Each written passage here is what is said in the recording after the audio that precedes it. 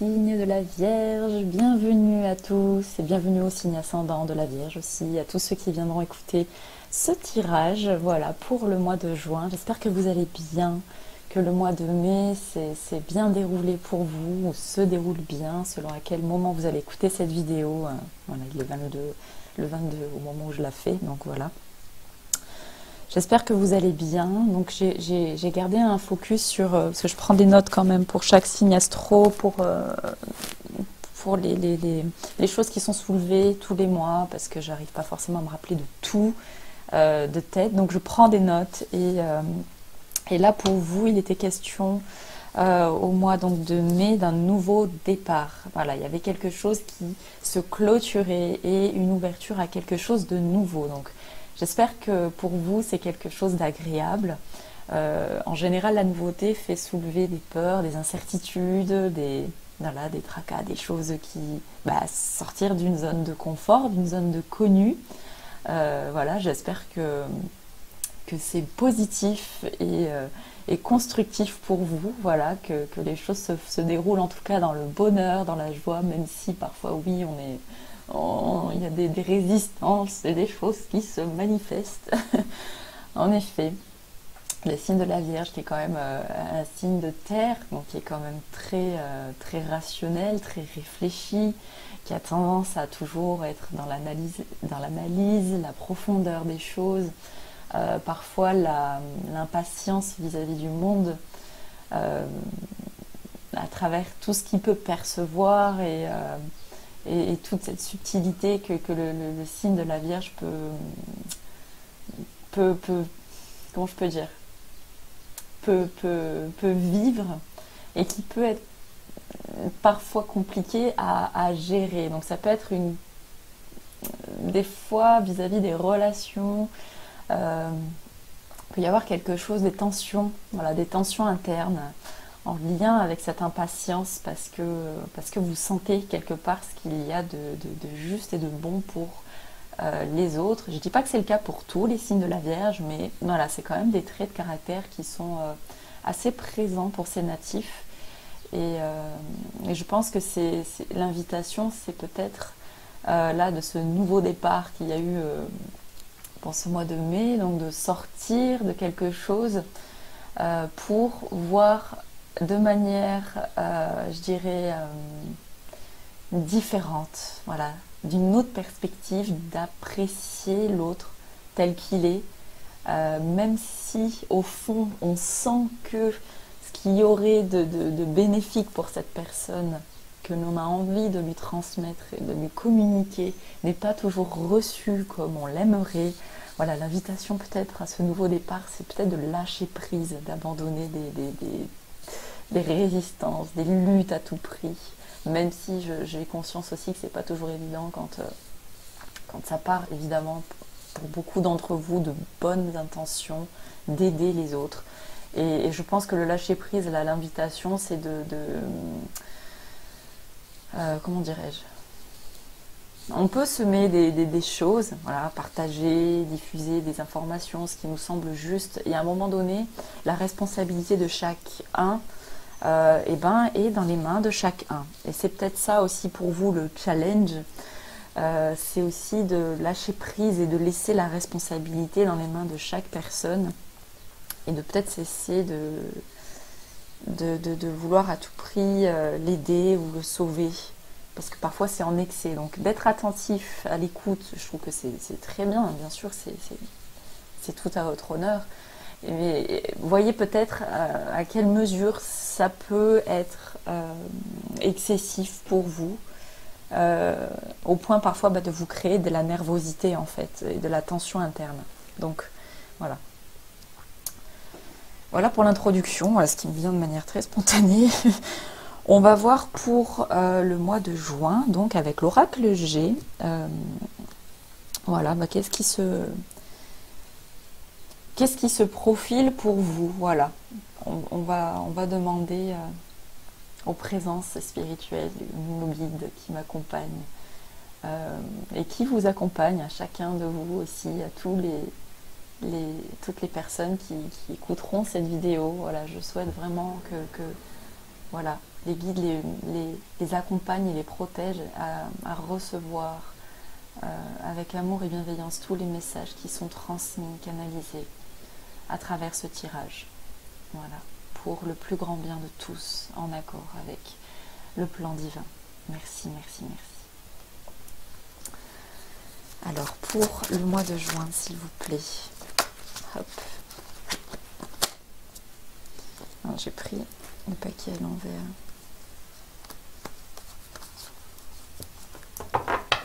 Si on prend les choses à l'envers, ça va pas le faire. C'est peut-être ça le nouveau départ. Changer de perspective. Allez, on va voir. Qu'est-ce qu'ils nous disent pour le mois de juin, s'il vous plaît, pour les signes de la Vierge ascendante de la Vierge. Je vais mélanger et on va demander. Déjà, je vais faire une. On va demander la, la coupe qui va nous annoncer la température, on va dire,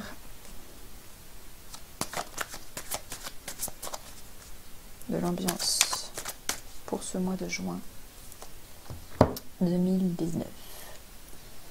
Ok. Déjà ici, on a un changement avec une mort. Ah oui, bah voilà. Et puis alors là, on a l'idée d'une d'une forme de violence. Hein. Donc c'est vraiment ce que je disais tout à l'heure, euh, qui me venait l'idée d'un de, de, conflit. Euh, l'idée d'un conflit, d'une agressivité, quelque chose qui est vraiment en lutte en fait. Quelque chose d'un peu... Euh,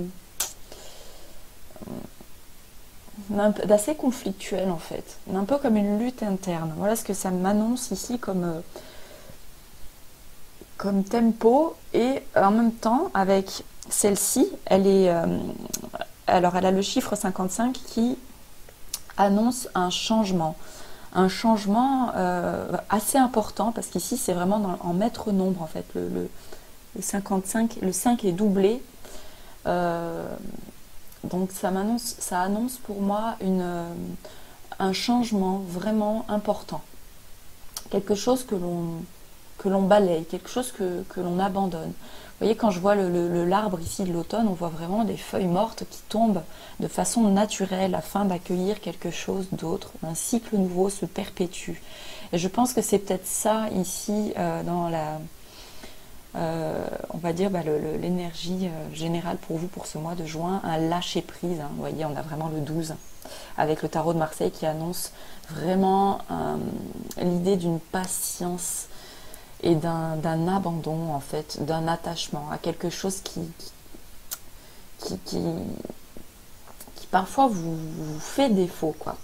Vous fait pas franchement du bien et fait pas forcément du bien aussi autour de vous.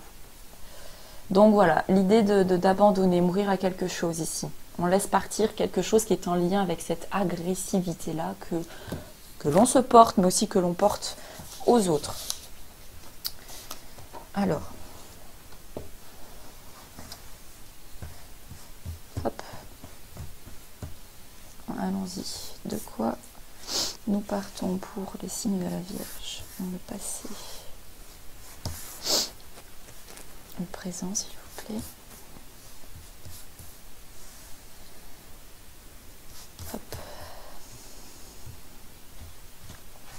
Le futur, s'il vous plaît.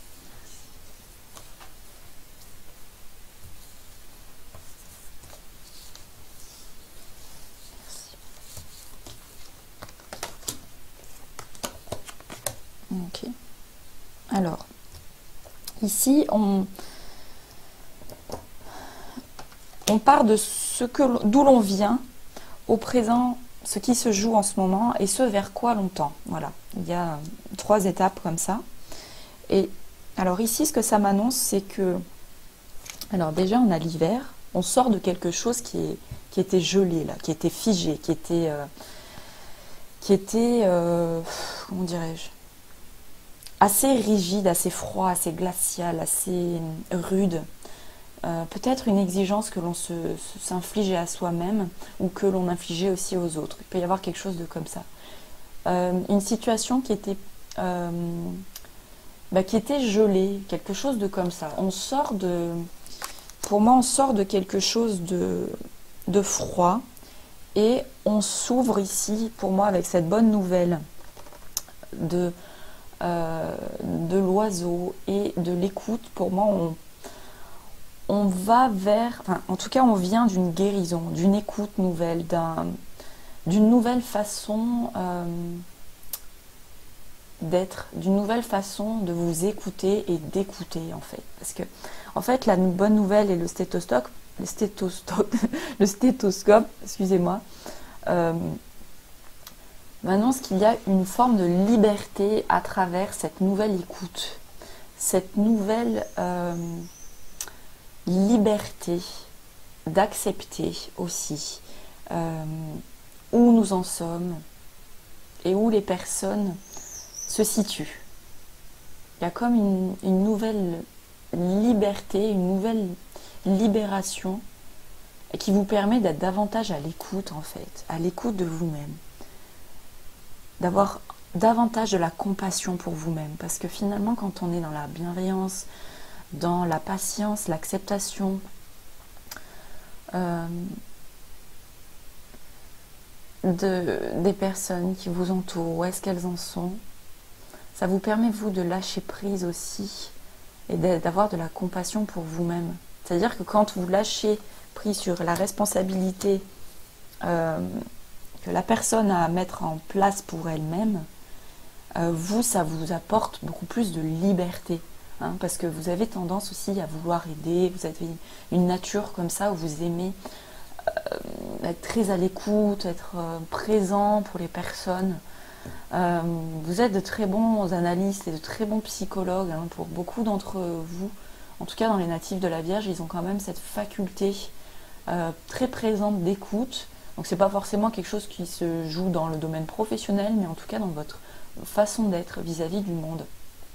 Et, là, c'est comme si euh, vous repreniez euh, une, nouvelle, une nouvelle intégration de quelque chose qui vous est euh, beaucoup plus juste en fait pour vous.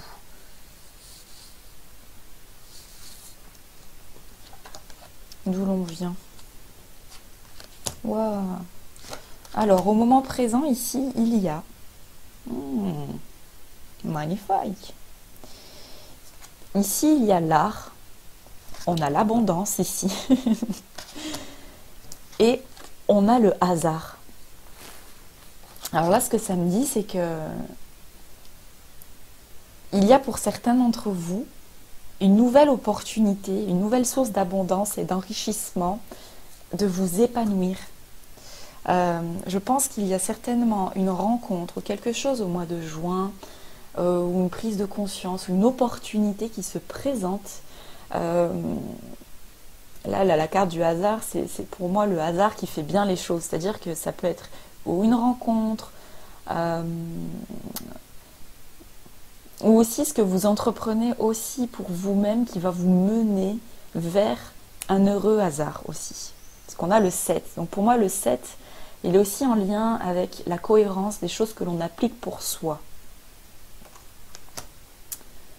Et il y a vraiment l'idée d'une source d'abondance. Cette carte ici, elle est le, centre du tirage hein, quand même. Donc, euh, il y a vraiment, euh, que ce soit dans le domaine euh, créatif, là pour moi ça sort dans le domaine créatif avec celle-ci, il y a l'idée d'un épanouissement, d'une source d'enrichissement personnel qui vous, qui vous apporte vraiment une satisfaction, un enrichissement, une évolution, vraiment une énergie solaire avec le 19 ici. Hein. Mm.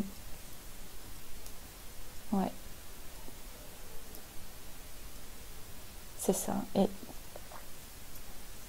je pense que là, l'invitation pour le tirage du mois de juin, c'est de vous faire vraiment plaisir, de lâcher prise sur euh, quelque chose qui a pu, euh, là auparavant, vous figer dans un état, dans une situation qui était un, voilà, figé, quoi. Et là, il y a comme une nouvelle envolée, en fait.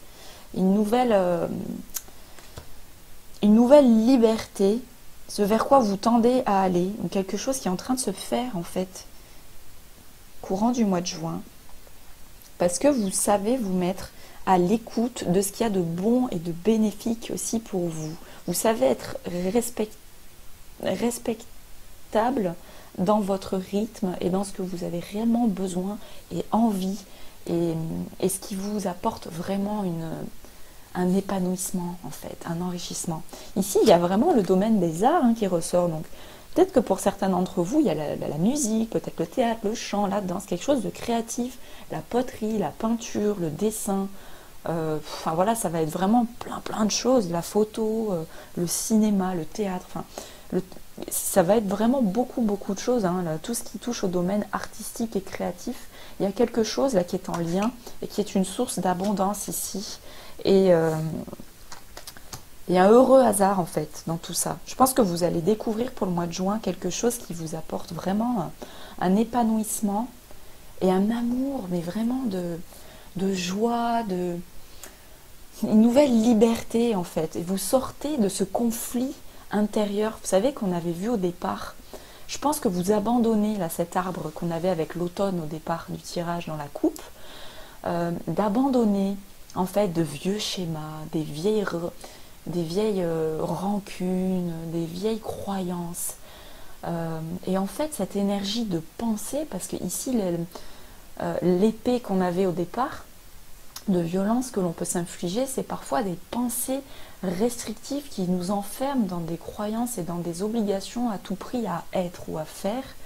Et là, l'idée de l'automne avec les, feuilles mortes qui, s'envole, qui tombe. C'est comme si, euh, en fait, vous vous abandonniez à autre chose.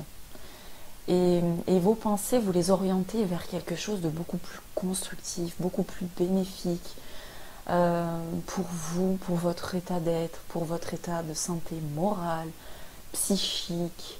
Euh, vraiment, il y, a, tout un talent là que vous... Pour moi, il y a... Vous renouez avec un plaisir quelque chose qui vous vous, vous libérez ici. Hein. Il y a une libération qui est faite. Là, ça pour moi, c'est ce qui a été fait pour le mois de mai, en fait, ce qui vient là, d'en bas. Sortir de ce quelque chose qui était figé, une nouvelle envolée, pour écouter davantage son réel besoin.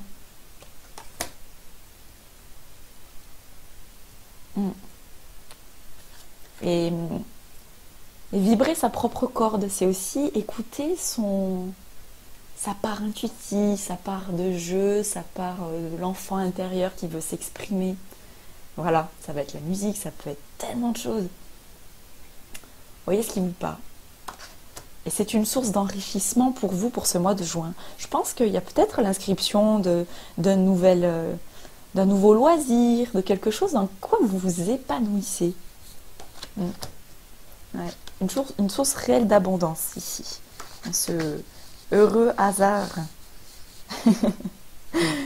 peut-être une invitation, peut-être une rencontre qui vous amène d'un point à un autre, et hop, et là vous, bah, expérimentez quelque chose peut-être que vous ne connaissez pas, peut-être que pour certains d'entre vous c'est déjà en cours, dans, quelque chose que, que, vous commencez ou que vous aviez déjà commencé, et peut-être que pour certains c'est vraiment une découverte à travers euh, ici, un heureux hasard, quoi.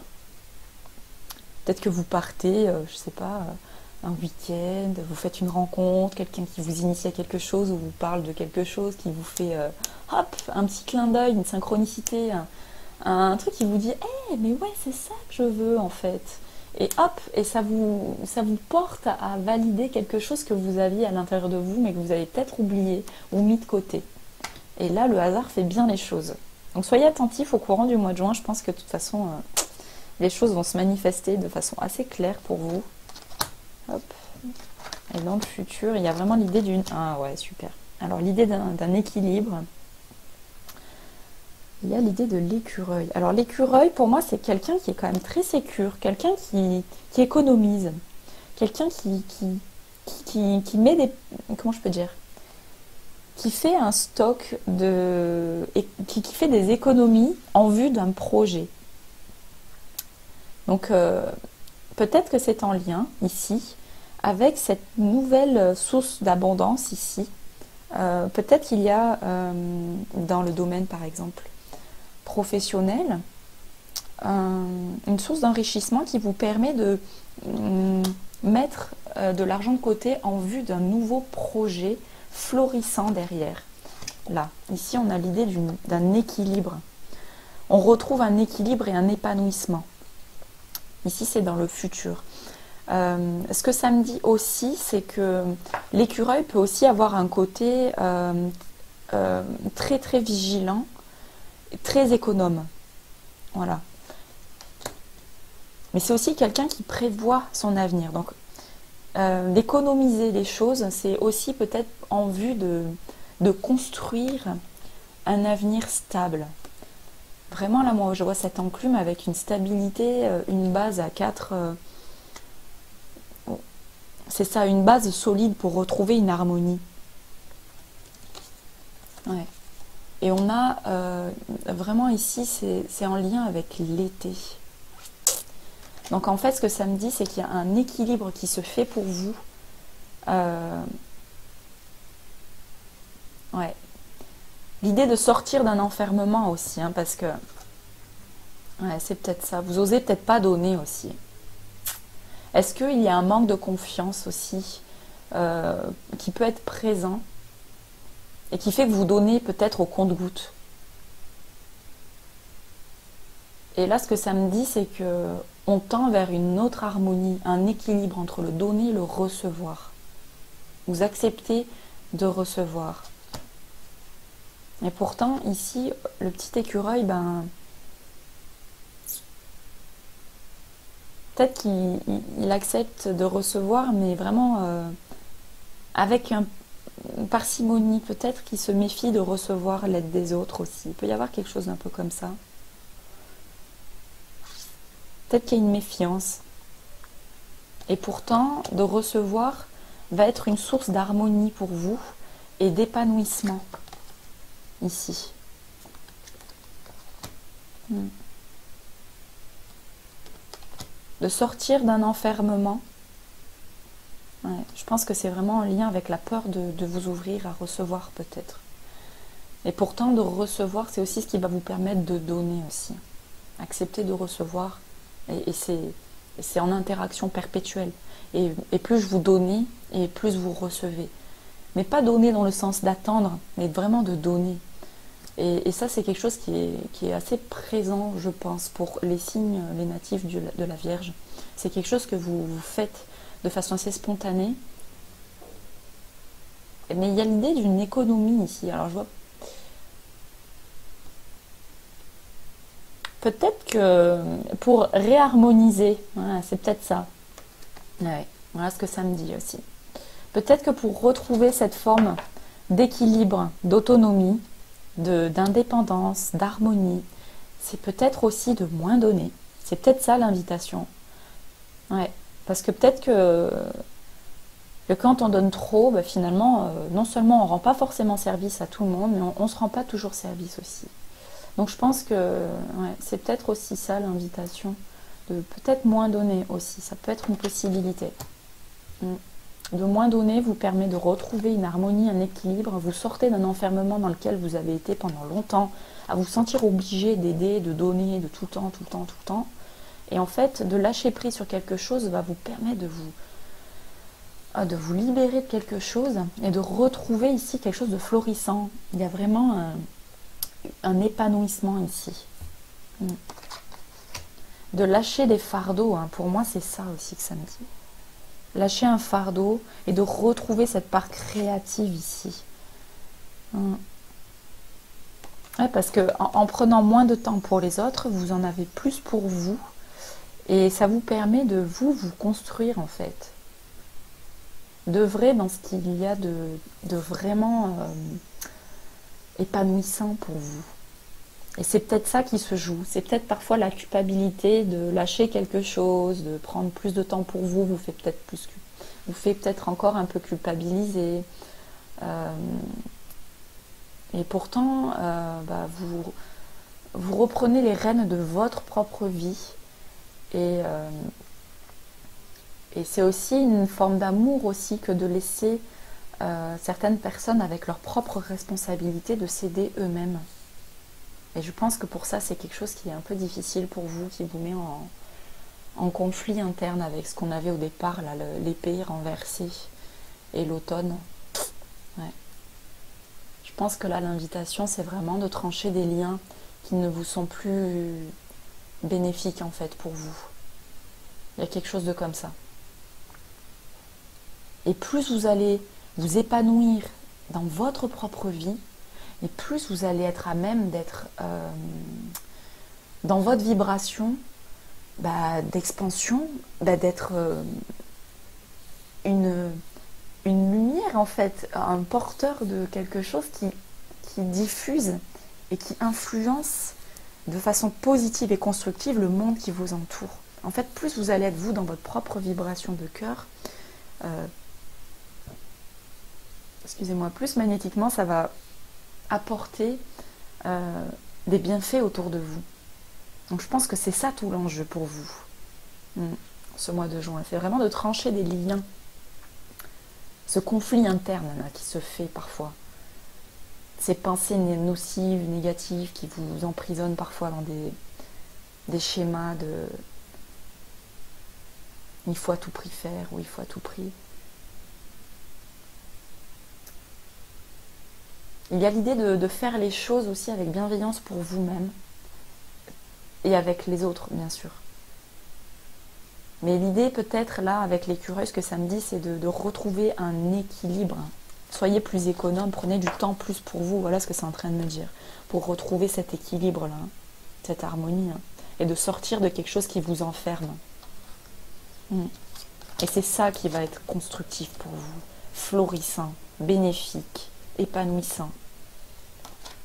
Ouais. Voilà ce que ça me dit pour l'ambiance générale. Alors, on va demander à l'oracle des anges gardiens, s'il vous plaît, un message complémentaire pour les signes de la Vierge, ascendant de la Vierge. Courage. Ose être différent, ose faire des erreurs, agis, car c'est dans la création que tu existes. Dans ce monde peuplé de rêves qui est le résultat de l'amour éternel, tu fais partie de la création. Tout est possible. Va de l'avant et fais-toi confiance. La création, hein. tout est possible. Va de l'avant. Fais-toi confiance, car c'est seulement en ayant confiance en toi que tu pourras être honnête avec les autres. Voyez, c'est vraiment l'idée de renouer avec votre essence à vous, votre propre note, votre propre corps. Mais plus vous allez vibrer dans ce qui vous fait plaisir, dans ce qui vous fait du bien, dans ce qui vous met dans la joie, et plus c'est euh, une source de, d'enrichissement pour le monde aussi. Donc en fait, faites-vous confiance. Autorisez-vous cela. Et voyez, la, la, carte du milieu, c'est vraiment l'abondance. C'est vraiment, mais faites-vous confiance. C'est un enrichissement personnel, c'est un enrichissement matériel, c'est un enrichissement financier aussi, c'est en lien. Plus vous allez vous autoriser à suivre votre élan de cœur, et plus la vie va vous ouvrir les portes. Donc vraiment, ayez confiance. Prenez ce courage ici, là. Ayez, foi à ce que tout ce que vous faites avec votre cœur, vous allez être soutenu, euh, guidé et épaulé pour cela. Parce que, en fait, le but de l'existence terrestre, qu'est-ce que c'est? C'est d'être heureux, c'est de vibrer sa pleine lumière, c'est de suivre son cœur. Voilà. Et parfois, le mental, il vient faire intrusion à cela. Et l'idée, avec le courage, c'est de mettre au service votre mental, mais au service du cœur. Et c'est ça le courage aussi, c'est vraiment de lâcher des, euh, des, peurs, des restrictions, des résistances. Et c'est ça qui fait peut-être euh, le lien là, avec le départ qu'on avait eu euh, avec l'épée et l'automne, les, les, feuilles mortes, à trancher tout ce qui, tout ce qui entrave à, votre réelle nature en fait. Hein. C'est un beau tirage. Pour moi, c'est un beau mois de juin. Il y a un bel épanouissement une nouvelle envolée. Euh, il y a l'invitation à, à vous faire vraiment confiance en fait, à suivre votre élan et à mettre les choses en pratique, à créer quelque chose qui vous correspond. Voilà, c'est ça. En prenant plus de temps pour vous, à économiser, à mettre voilà, c'est aussi ça, hein, le petit écureuil, c'est quelqu'un qui prévoit, euh, qui construit son avenir pour moi. C'est quelqu'un qui met, qui met les, pierres au bon endroit, au bon moment, euh, pour prévoir. C'est quelqu'un qui agit lentement, qui, prévoit en fait. Il y a quelque chose de comme ça. Il y a un côté prévoyant, économe et juste aussi. Ouais. Magnifique. Opportunité, on a sous le paquet qui nous dit de merveilleuses possibilités et opportunités t'attendent. Arrête de ressasser sans cesse les erreurs du passé. Abandonne le passé avec amour. Il n'y a rien à regretter. Tout est toujours parfait selon l'ordre divin. Chaque expérience t'a servi. Le passé est derrière toi. La paix est devant toi. Avance joyeusement et réalise les rêves qui te tiennent à cœur. Donc en fait, pour moi ici, il y a un beau challenge. C'est d'abandonner quelque chose, de laisser derrière vous quelque chose euh, qui est peut-être là depuis très longtemps et qui, va se manifester, qui, qui, est, en lien avec une résistance et une peur. A une peur assez importante qui se soulève et en même temps, c'est une opportunité de la transformer en quelque chose de créatif pour vous. Donc pour moi, c'est vraiment une belle opportunité pour vous. Hein. Vous abandonnez, vous lâchez prise sur quelque chose d'ancien qui n'est plus en, cohérence et en alignement avec votre cœur. Donc ça va agiter le mental forcément, ça va soulever des, petites peurs, des résistances, des hésitations, des doutes peut-être. Et c'est là que le courage ici vous soutient à vous dire d'écouter votre cœur. Écoutez ce qui vous fait vraiment vibrer et lâchez prise. Et vous verrez que les choses vont se manifester de façon fulgurante dans votre vie. Hein, il y a vraiment l'idée d'une harmonie et d'un épanouissement. Donc ça se fait dans le temps aussi. Hein. L'écureuil, c'est voilà, le côté économe, le côté de prévoir. Je pense que c'est des choses qui se construisent, qui se font dans la matière, pas à pas. Voilà. il y a vraiment une abondance. Hein. Pour moi, l'abondance, elle, est, c'est aussi une carte qui rythme votre, euh, là, ce tirage. Hmm. Voilà, voilà. Pour l'énergie des, signes de la Vierge pour le mois de juin. voilà, voilà. Écoutez, j'espère que ce tirage vous aura éclairé, vous aura apporté euh, des messages, des clés, des choses qui vont vous, voilà, vous, vous guider vers euh, davantage votre cœur, votre, votre guidance propre à chacun d'entre vous. voilà, qui tend à aller vers votre bonheur propre à chacun, en fait. Voilà. Voilà, voilà. Mais écoutez, euh, je vous souhaite un très beau mois de juin. Prenez bien soin de vous. Je vous invite également à écouter le thème, euh, l'étude de thème que j'ai partagée euh, sur la chaîne pour le mois de juin. C'est l'étude de thème générale qui peut vous parler aussi également. Quoi d'autre? Je vous invite, euh, si vous le souhaitez, euh, pour ceux que ça intéresse, et eh ben, me contacter. Il y a mon adresse mail euh, dans la description pour ceux qui souhaitent une consultation personnalisée. voilà. je vous invite à écouter également votre signe ascendant, votre signe lunaire, votre, en fait, toute la révolution intérieure en fait c'est-à-dire là où est placé Mercure à votre naissance, Vénus, Jupiter, Mars, votre Soleil et votre Lune. Voilà, ça, indique beaucoup de choses. Après, c'est vrai que ça fait euh, quelque chose d'assez conséquent à écouter. Et en même temps, c'est aussi euh, pour vous permettre de sortir un peu de, de, se restreindre seulement à un signe spécifique astrologique. Parce qu'en fait, on est porteur de toutes ces vibrations. On n'est pas euh, que vierge, on n'est pas que lion, on n'est pas que ça. En fait, euh, dans notre étape de vie évolutive pour chacun d'entre nous, on expérimente les vibrations de chaque signe zodiaque. Voilà. Donc c'est pour ça que j'invite vivement d'aller écouter aussi les autres signes. Et vous pouvez, bah, euh, pour découvrir où, est, votre Vénus à votre moment de naissance dans votre thème, par exemple sur le site AstroThème, en inscrivant votre nom, prénom, euh, date et heure de naissance, ça va vous l'indiquer et ça vous permet de, bah, voir, euh, notamment si vous êtes une femme, euh, d'aller écouter votre Vénus, c'est important. Enfin, en tout cas, à mon sens, je trouve que ça, ça révèle beaucoup de choses, étant donné que ben, bah, nous sommes reliés à notre à notre intériorité, à la lune. J'ai dit Vénus, excusez-moi, c'était la lune que je voulais dire. Autant pour moi, je suis allée trop vite. C'était euh, d'aller vraiment voir où était placée votre lune. Et, euh, et, voilà, en étant une femme, homme et femme, de toute façon, ça vous concerne. Mais ce que je veux aussi soulever, c'est qu'en étant une femme, eh ben, voilà, physiologiquement, bah, on traverse des cycles, hein, tous les 28 jours, on traverse des épurations, euh, il y a des choses qui remontent hein, à la mémoire euh, en termes de schéma, de peur, de résistance, etc. Et à chaque nouveau cycle, et on repart sur bah, une nouvelle ovulation à chaque fois. Donc en fait, euh, d'aller voir dans quel signe était votre lune, votre heure et date de naissance, ça va aussi vous permettre de comprendre aussi certains de vos, de vos schémas, de vos comportements, de vos tendances aussi. Et je trouve que c'est vraiment intéressant d'aller le voir, ça. Mais j'invite également les hommes, hein, bien sûr, à aller voir euh, tout cela, où votre lune était placée dans quel signe, le soleil, Vénus, Mercure, Jupiter, Mars. Mars aussi qui est dans l'énergie d'action, mais aussi de déconstruction, euh, de crise. Voilà. Et selon dans quel signe est-ce qu'il se situe, bah, ça va vous indiquer euh, beaucoup de choses. Et en faisant le lien sur votre propre thème,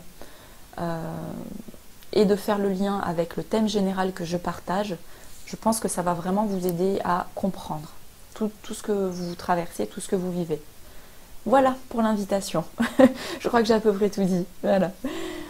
Eh bien, écoutez, merci de m'avoir écouté. Merci infiniment pour vos dons, vos commentaires, vos likes. Je vous invite à liker la vidéo si cette vidéo vous a plu, à la partager si, euh, si vous en avez envie, à vous abonner si vous souhaitez recevoir eh ben, les prochaines vidéos que je vais faire maintenant en fonction des pleines lunes et des nouvelles lunes. Voilà. Euh, je propose également euh, des soins énergétiques à distance, des soins euh, Laochi qui sont à prix libre sur ma page Facebook qui est pareil inscrit dans la description que je partage dans la semaine de la pleine lune et de la nouvelle lune. Donc là la nouvelle lune sera le 3. Donc là à la fin mai euh, vous aurez accès sur ma page Facebook à, euh, cette euh, possibilité d'inscription et de participation libre pour pouvoir en bénéficier. Voilà, c'est une invitation que je fais. Vous avez jusqu'au jusqu'au jusqu'au. Donc c'est le 3, l'inscription se fait jusqu'au dimanche 2 inclus, 20h. Voilà, parce que en fait, suite à cette inscription, je vous envoie un mail euh, avec un protocole que je partage. Donc, euh, donc voilà, c'est pour ça que l'inscription se fait euh, jusqu'à la veille et pas jusqu'au jour J, parce que moi j'ai besoin de prendre le temps de vous envoyer le mail, etc. Qu'est-ce que je voulais vous dire d'autre? Oui, il y a 10 inscriptions maximum aussi, donc c'est pour ça que je le précise. Prenez le temps de, voilà, hein, vous avez jusqu'au 2 et puis au bout de 10 inscriptions, bah, le, le euh, ben, ça, se clôture en fait tout simplement. Voilà. Et, voilà. Qu'est-ce que j'ai envie de dire d'autre? Je crois que c'est tout. Et puis la fin du mois de mai, le 30, le 30 c'est l'ascension. Hein. Donc vous voyez, il y a vraiment l'idée là avec euh, euh, cette, pleine lune qui était dans le signe du scorpion, où il y a eu une prise de conscience sur vraiment des schémas euh, en profondeur de nos systèmes de croyances, de peur. On, rentre vraiment dans, dans des, choses assez profondes, hein, jusqu'à la fin mai ici, et jusqu'à la nouvelle lune. Et la nouvelle lune, il y a cette nouvelle énergie qui se fait. Donc là, je pense que c'est... Il y a quelque chose qui se boucle pour vous. Quelque chose qui se boucle pour vous et qui vous permet de comprendre euh, d'autres choses. C'est pour ça que le courage aussi vous soutient à cette nouvelle opportunité de guérison, d'avancer sur ce chemin magnifique d'évolution. Voilà Voilà, mes très chers amis. Bon, bah écoutez, je crois que c'est tout. je remercie euh, les présences qui nous ont accompagnés, soutenus, protégés. enveloppés de tout leur amour pour euh, nous envoyer tous les messages bienfaisants pour, pour ce mois de juin. Je vous souhaite tout le meilleur. Prenez bien soin de vous et, et voilà, je vous dis à tout bientôt. Bye bye.